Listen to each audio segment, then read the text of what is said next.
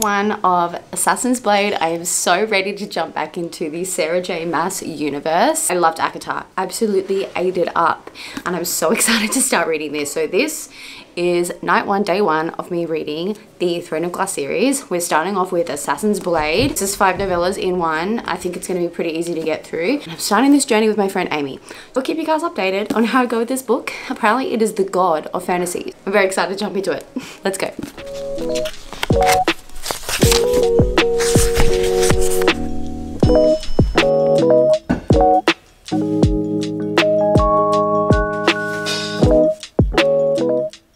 talk about where I'm at in this book. I am currently on the second novella now. Finished The Assassin and the Pirate Lord and oh my god, it was so it was so freaking good. Kind of already have some feelings about where the direction of a couple of characters are gonna go. Unfortunately, last night when I was putting this as like currently reading on my Goodreads account, which I update quite often on there, I accidentally threw a spoiler.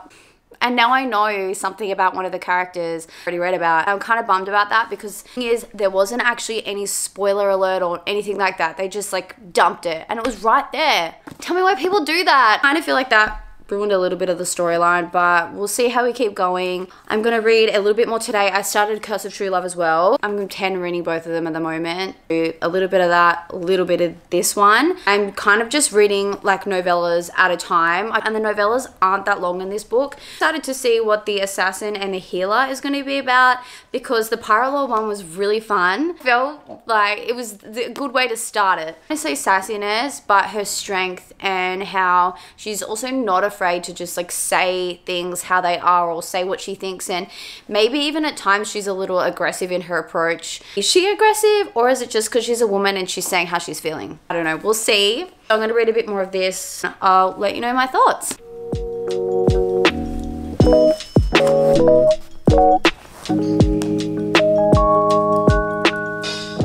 trying to figure out, so obviously ACOTAR, it's the Fae, the fairies, that's their magic. I'm not really sure what the magic is in this yet. I know that there was magic. I don't know if there still is. See, I'm still reading the novellas. I'm getting the gist that there was magic and now there isn't any magic. So I'm trying to like figure out where the power is from. We know it's not the fairies. So like, what are they? They're not human either though. Like that's the vibe I'm also getting. Not human.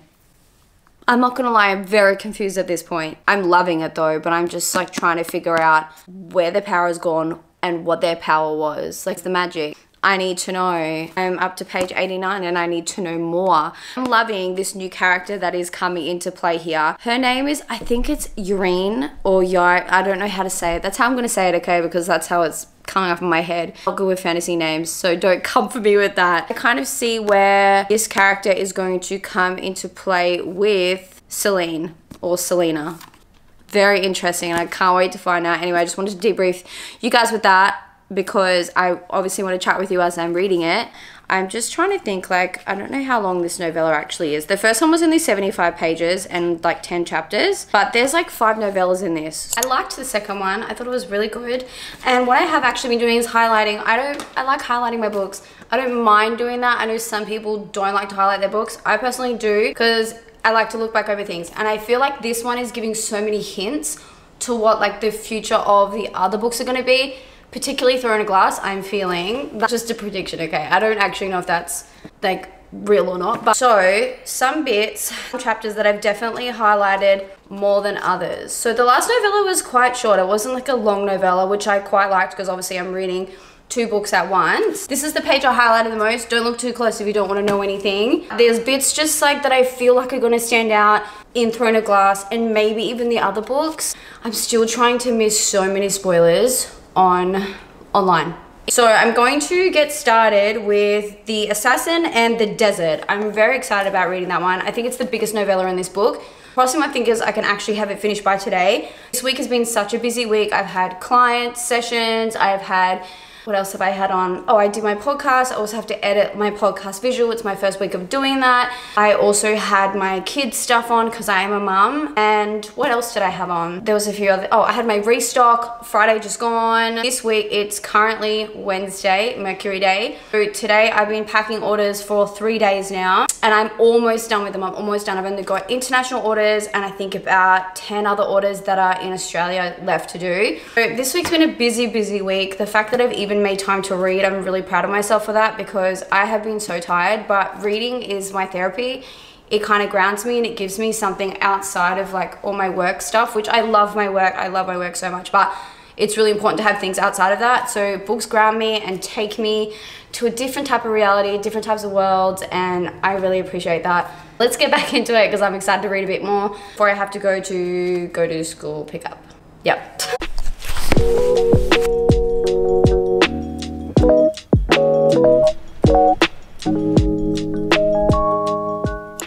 Like the literally peak of ADHD. I will be reading my book, god damn it, and tell me why my brain is like, we're reading, but we're also singing a song at the same time. It's so draining. It's so draining to have ADHD at times, but it's fine. I, by the way, I hit number 15 in spirituality and religion Spotify podcasts. I'm so proud of myself. I, I can't believe I did that. Assassin's Blade. I'm halfway through the novella. Well, I think I'm behind. Oh, I'm actually I'm on chapter three. I'm not halfway through the novella. Me in denial. Get some more reading of this done before I have about 15 minutes to read. 15 minutes. I can fit a lot in that time, right? You being delusional? Maybe.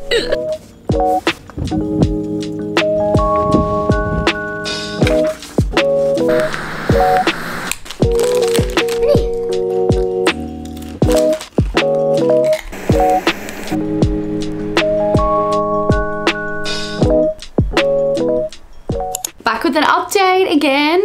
We are on the next novella. I've officially finished the novella of The Assassin and the Desert. So I'm officially halfway through now.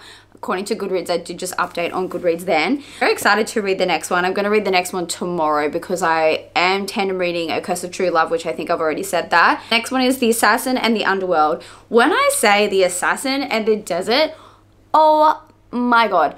I thought the pirate one was full on the end of that one was so chaotic. I was like, and I won't say why because I don't want to give away spoilers for anyone that hasn't read this yet. But I thought the Pirate Lord one was so good. And now, oh my god, I'm so glad I read this first. Highly recommend reading this first. I know a lot of other people have kind of read these novellas through the other books. But, oh, I nearly lost my place. Oh, that's why you update on Goodreads, because if your bookmark ever comes out, you know where you're up to. So obsessed. I'm loving being able to meet all these different characters, and I can't wait to meet them again in the other books. I'm kind of gathering now where Celaena is like talking about the powers. I feel like with ACOTAR, it was very like fae based, obviously like fairies and things like that, fairies and high lords. This one is very much gods and goddesses, which I kind of like the change of pace with that. I'm enjoying the writing of this. I loved ACOTAR, by the way. I loved it. I will say, according to Safri, changed my brain chemistry forever. And ACOTAR was actually the first fantasy book I've ever read. But this one definitely the writing for me. I it's so like full on it's so fast paced i don't know if it's just because it's the novella so we'll see how it is with the other books but this is very fast paced and i'm just eating that up because it just really helps my adhd brain when it's fast paced i don't like things to drag out too much. This is just kind of like getting to the point but also giving you a backstory. So i can't wait to read the rest.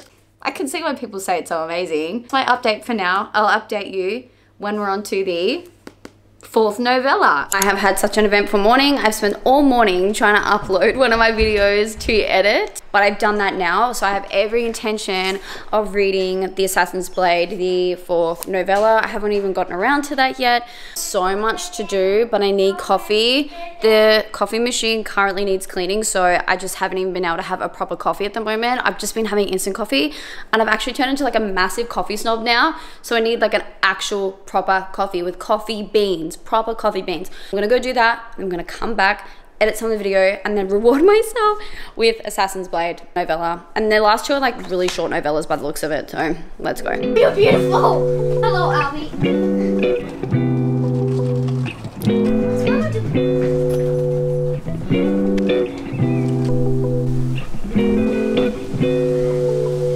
Hello, I'm a big girl now, girl. Oh. Want you cuddle?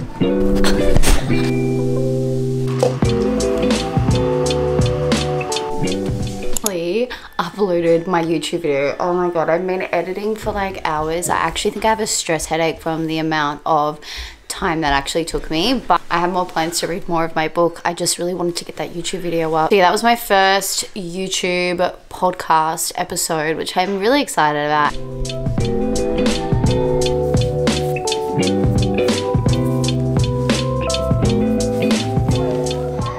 it is currently 8.55 at night. I'm finally making dinner. I'm finally eating. Read a little bit of my book. I haven't finished the novella yet. I definitely plan on finishing it. My YouTube video. Oh yeah, there we go.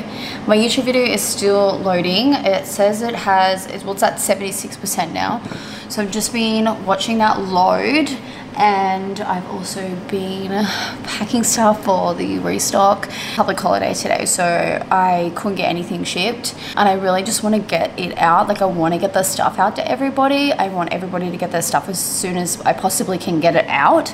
And this week has just been such a doozy. It's been so busy. There's been so many times this week where I've been on the brink of like literal burnout but I've just kind of keep pushing through because once I hit my luteal phase on my cycle I don't feel like working or I just I can't work how I would be working right now when I'm in my ovulation phase. I officially hit my ovulation phase or the end of it tomorrow. I hit my luteal phase officially.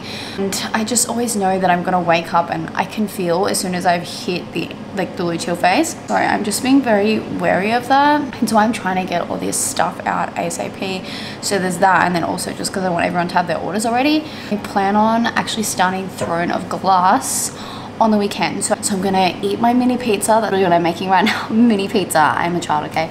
By the time I get to the end of the night, I just don't, I don't care what I'm eating. I just need to eat something at least before I go to bed. Eat my mini pizza, read the novella, go to bed, eat like her leader, her boss. Um, I've forgotten his name. It's kind of like a hard name to pronounce. It starts with A. So the one that starts with A. I just like don't, he's so manipulative. And that's all I'm going to say on that. He's so manipulative. I feel like she's at current kind of falling for it. And I'm like, yeah, no, girl, you need to get out of there. You're given an opportunity to get out of there and you're not going to take it. But I, I, mean, at the moment, I kind of understand. Like, she just has such a big moral compass, so I can kind of understand at current why she's not getting out of a situation. But I'm like, oh my god, you were literally given an opportunity and you're not getting out of there. Girl, what's going on with you? I mean, I guess she's like 17, so I just need to remember that. Like, she's only 17 years old. But yeah, so that's what I'm finding interesting so far. And I will say the Silent Master, I loved his character. I thought he was so sweet. I could just feel the whole time just such genuine vibes from him. And I really hope that we see him again. Kind of feel like we probably will considering like his son also was part of it and I just feel like that was such a big part of that novella. There's just no way that he's not going to turn up again at some point in the future. Excited for that because I just he's just like a wizard. Like he's just like full of wisdom and knowledge and I just really like it. I'll check in with you guys later. I'm gonna eat this mini pizza and read this novella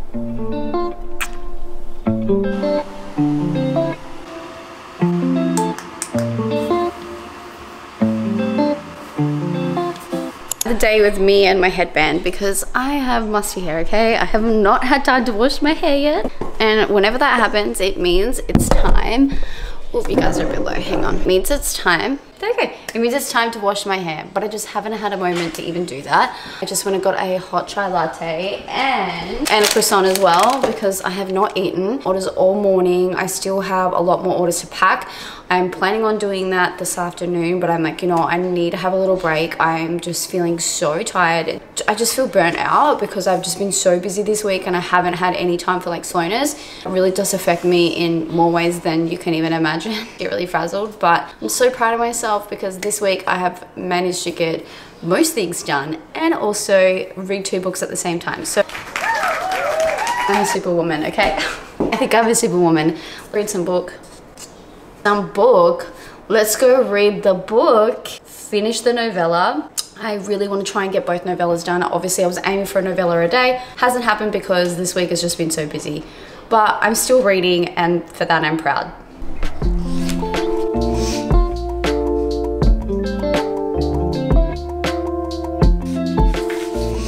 I just finished the fourth novella. I thought it was really slow at first. I was thinking, this, where's this going? Like, this is not very exciting. And Arobynn, I think that's how you say his name, I knew he was shady. I knew he was shady. Certain few things that Celaena did with him like obviously he's the boss and there were certain things that like she let him get away with and i just couldn't fathom like i was like girl why are you doing that i have an opportunity to get out of this and you're staying what are you doing the writing of this book is so good finally we see a little romance happening i kind of like that it was i'm not i don't want to call it slow burn i guess a little bit but i will say the fantasy in this book you just really don't care so much that the romance was like a subplot really enjoying that. Like I really enjoyed the fantasy aspect of that and having the romance kind of just a little bit there. And the romance was so cute. I just I loved it. I thought it was so sweet. But one novella to go. We've got The Assassin and The Empire left. I'll keep you guys updated as per usual. Don't judge me. I'm literally going to wear blue on blue. This is my favorite jumper at the moment. I got this at a market store and it's my favorite thing in the world.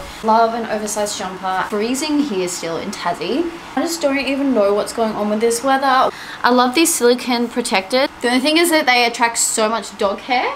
Look at all the dog hair. So I'm gonna go take the dogs for a walk. They need to get out of the house. I can finish off that last novella or at least like make a start on it.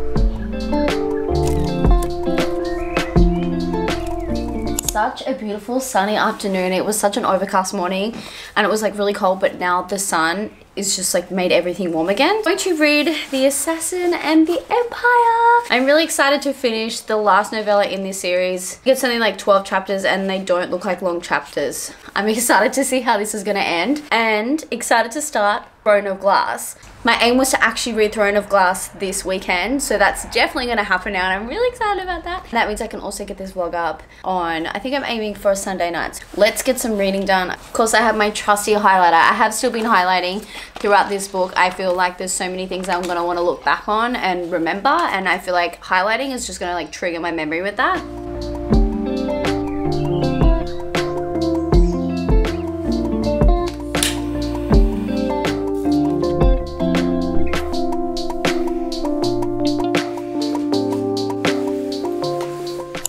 Good morning. Oh, hang on. I need to set you guys up a little bit higher, don't I? Is that better? That's better. I can see you. Okay, so Assassin's Blade. I finished it. We've finished the book. Claps. The end of that novella ripped my heart out. This is a representation of what this did to me. Literally. I'm not even joking. That was a little dramatic. But for serious though, that was like gut wrenching. About it all night. I actually had to read a fluffy romance after it because it killed me so much. By the way, I'm coming at you with some freshly washed hair because yesterday it was a grease ball and I just could not wear that headband any longer. I have a lot of thoughts. I cannot wait to start Throne of Glass. Hang on, let's get Throne of Glass and I'll show you Throne of Glass. This is my next baby not that big either. That's the thing is like, I actually don't think the books in this series are that big. The information that was condensed in this there was so much information. I really liked it. So I would give, I gave it five stars. Oh, sorry, I moved you then. I gave it five stars on Goodreads, but technically I would give it more like maybe 4.5, 4.7. I'd go between the two. Overall, I'm really glad I read this first. Cannot wait to get into this one, obviously, starting this one today. As I said before, I'm buddy reading with my friend Amy, who I'm literally just watching her. Hi, Amy. Read Assassin's Blade as well. She's vlogged it on her TikTok account, so go check that out. Gonna start this one this weekend. And obviously, obviously I'm being very wary. Oh, hello, Winnie. Oh, see you then. Being very wary that Iron Flame comes out in literally a week. Uh, but I think this one will get done in a week easy. Heard really, really good things about this. And I need to know what happens with her boss. Because again, he showed up some shady in the end, he's shady from the start, and that's not even a spoiler. He's shady from the start. He puts her in so many compromising positions, and and that's as far as I'm to go with that, because then I will start spoiling it. But I don't like him. I don't like him. And will I continue to not like him in this one? I don't know. This left you off. I wouldn't call it a cliffhanger, but it's enough to get you curious. Now I'm curious what happens to Celaena in this one and how she's to get out of the predicament she's in in this one to go into this one, especially considering what happened in the last novella in this one. What I want to say is please read this series. I'll continue to vlog. My next vlog is going to be on Throne of Glass, so keep an eye out because I will be reading that this coming week, so it means it's going to be out the week after. There's going to be a whole playlist whole playlist of the Throne of Glass series. We're gonna do this together. This is gonna be a journey together. You and me, let's do it. Alas, I'll chat with you soon.